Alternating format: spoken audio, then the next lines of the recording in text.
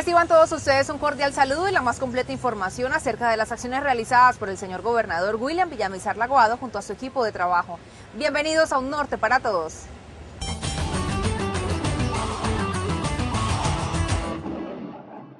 Finalizó el primer encuentro colombo-venezolano de artes escénicas La Frontera en las Tablas, que durante varios días presentó más de una docena de obras teatrales en Cúcuta, Ocaña y Pamplona. En el norte para todos les presentamos el balance de esta actividad.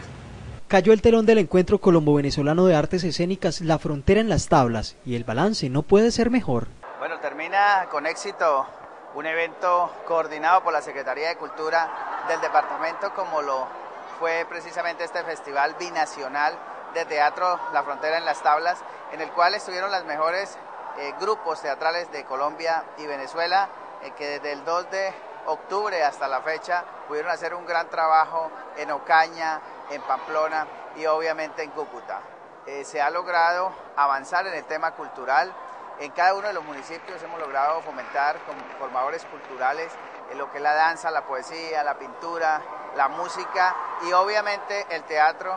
Y hoy observamos una comunidad interesada en cada una de estas obras, participando activamente y disfrutando de un evento que se preparó con especial cariño y con mucho interés. Agradecemos a todos los patrocinadores, a la gente que se vinculó y felicitamos a los artistas, a los maestros y a, todos los grupos teatrales que estuvieron presentes. Durante una semana, espectadores de Ocaña, Pamplona y Cúcuta llenaron los teatros y se deleitaron con la puesta en escena de las compañías invitadas. Por estos resultados exitosos en este proyecto de alto nivel que nos propusimos desde el año 2008, de la mano de los compañeros de la Secretaría de Cultura Departamental, hoy en día vemos que el pueblo norte santandereano pide a gritos eventos permanentes eh, y hoy el Festival de Teatro o el primer encuentro colombo-venezolano de artes escénicas, La Frontera en las Tablas, eh, respondió, responde tanto público, patrocinadores, colaboradores, el equipo de logística,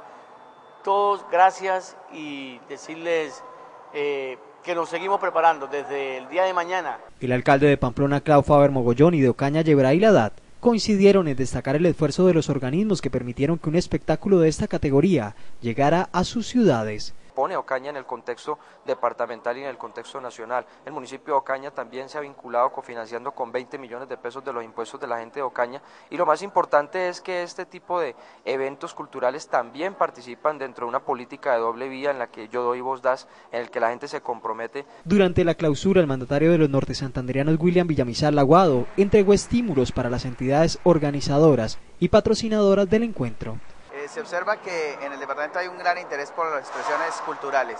Así es que eh, vamos a continuar muy fuertemente eh, preparando eventos eh, de esta naturaleza para el próximo año. En especial en lo que tiene que ver con el teatro, aspiramos a un mayor espacio, a unos mayores recursos y obviamente a la posibilidad de que una mayor cantidad de público pueda observar las obras que se traerán el próximo año. Desde ya el equipo de la Secretaría de Cultura de Norte de Santander inició trabajos para que la segunda edición de este Festival de Artes Escénicas Colombo-Venezolano, programado para el próximo año, tenga más éxito. Un limosnero, quisiera decirlo con pocas palabras y en muy baja voz. ¡Esta ciudad se quiebra! ¡Nadie compra frijol! ¡Todo está pudriéndose en las cajas!